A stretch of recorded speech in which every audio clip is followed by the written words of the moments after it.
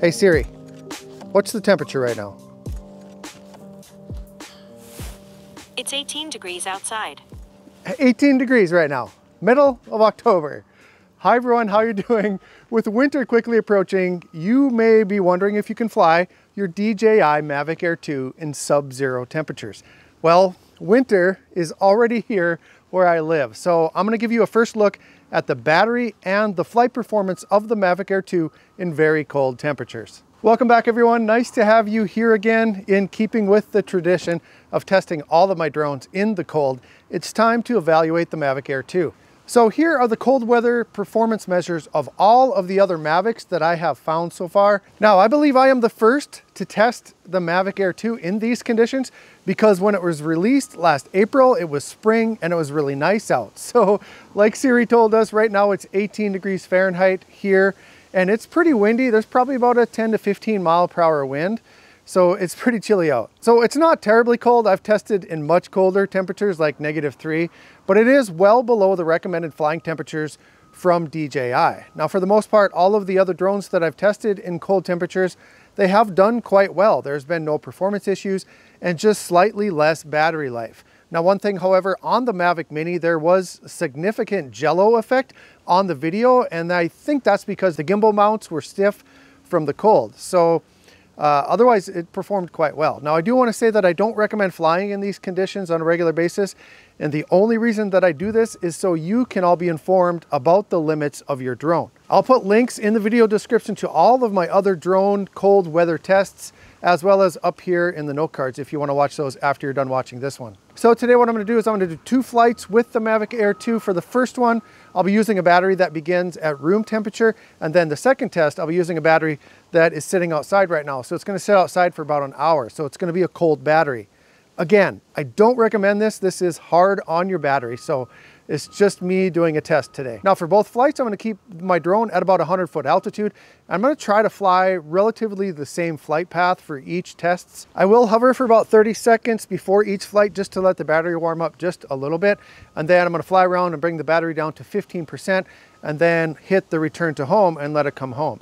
And then we'll compare the flight time and the battery temperature and then the percentage of maximum advertised flight time. Like I said, it's pretty windy today, so I don't think it's gonna perform as well as some of the other tests that I've done on the other drones, but at least we'll get to see how it does in cold weather. Now the IMU has been calibrated as well as the compass. I'll be using my iPad Pro 11 inch and the PGY Tech tablet holder today. If you do fly your Mavic Air 2 with a tablet, there is no other tablet holder that you should own. It is the best by far out of any of them that I've tested. Now, even though I won't be recording much footage today, I will have an ND filter on from Freewell because I almost always have one on when I'm flying. So I want it to be consistent to normal conditions. And then finally at the very end, I'll give you my tips for flying in the cold. They are the same that I've told you over the past three years, but it's always good to be reminded of safe practices. Now, if you have any questions about the flight or the weather conditions or anything at all, let me know down in the comments and I'll respond to most of them. All right, I think that's it. So let's get this bird up in the air and see how it does. The home point has been updated. Please check it on the map.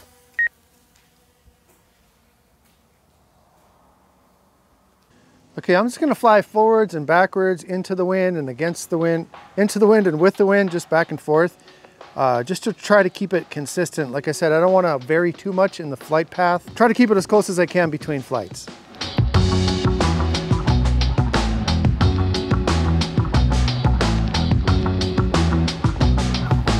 Okay, I'm gonna flip it into sport mode once just to see how it does.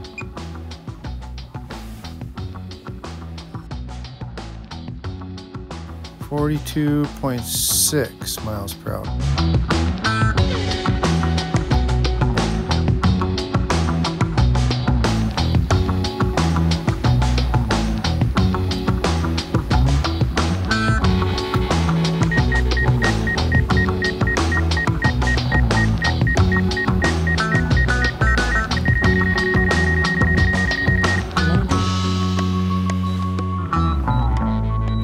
All right, we took it down to 11% or 10% battery.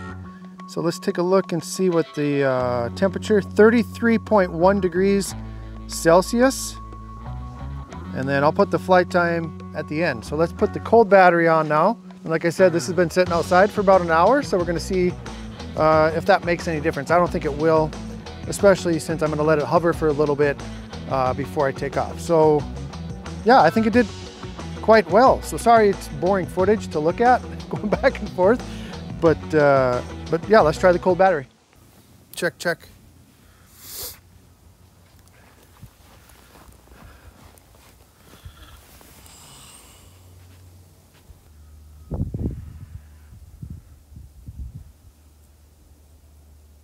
Huh. Okay, so this is interesting. Uh, it's not recognizing the that the battery is installed. So, and I've tried it twice and it's not letting me take off because it says battery installation error, aircraft unable to take off, ensure battery is installed properly. properly. So, huh, very interesting. I'm gonna, I'll try it one more time. If it doesn't work, I'll take the battery inside and let it warm up a little bit.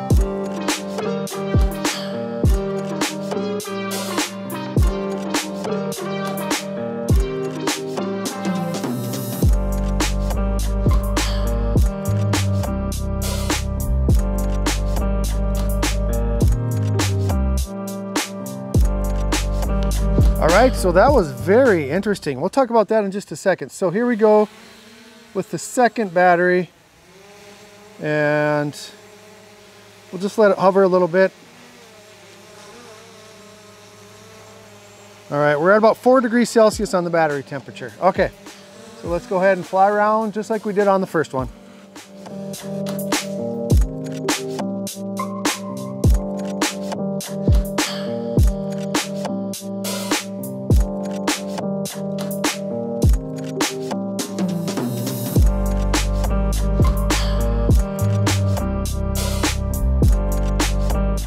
All right, so there you have it. Uh, it actually did a little bit better, I think, as far as flight time. I'm not sure, actually. I'll put it up on the screen here.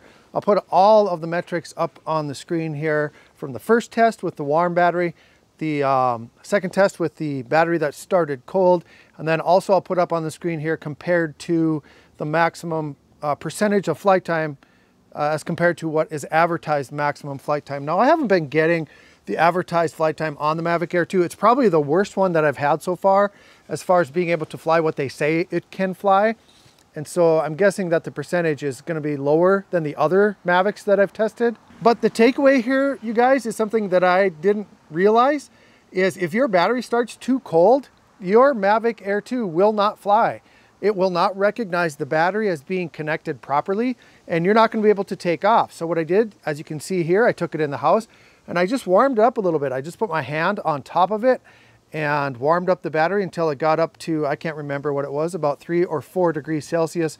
And then finally, it was able to recognize that I had the battery connected. So it was clipped in properly, but just because it was so cold, it didn't recognize it. So make sure that you keep your batteries warm. And that's probably a safety feature built into those batteries because extremely cold temperatures are very hard on these batteries. And so I learned something today, so I hopefully you guys did too.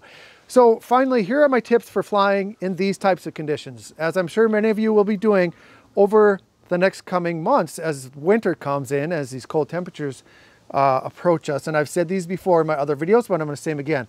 Say them again, can't talk. So first of all, keep yourself warm, keep yourself safe. That's the most important thing. Frostbite is not fun. I've had it before. So Keep your head, especially in your fingers, warm. Get some hand warmers if you can. If you're able to, fly inside your vehicle. I fly inside my vehicle all the time in the winter. There's no law against that, but be sure that you maintain visual line of sight. I've had zero connection issues when flying inside my vehicle. On the Mavic Air 2, you can set the controller to be charging your phone as you're flying. I highly recommend doing that because your phone or your tablet battery is gonna drain faster than anything else in these conditions if you're flying outside. Make sure that you don't fly too far away as far as you normally would in warmer temperatures because your battery does drain faster. So just make sure you keep your drone close to you. If your batteries are not at room temperature, if they're a little bit colder, make sure that you hover for 30 seconds at least to get your battery warmed up before you hit full throttle. It will extend the life of your battery. Winter is a great time to fly, you guys. It's a great time to capture some amazing videos and photos. Not right now, everything's brown right now, but as soon as we get some snow, it'll be a little nicer. So you just need to change your habits a little bit from flying in warmer temperatures to ensure the safety of yourself and your drone, and especially your batteries. You have to protect these batteries. So hit the thumbs up if I helped you in any way today, if I give you any information of value that really helps the channel, helps the video out. Subscribe if this is your first time visiting the channel, or maybe it's your second or third time and you haven't subscribed yet. Check out those other cold weather test videos that I've done. I'll put them down in the video description. Have a great day, everyone. Stay warm and fly safe and fly smart.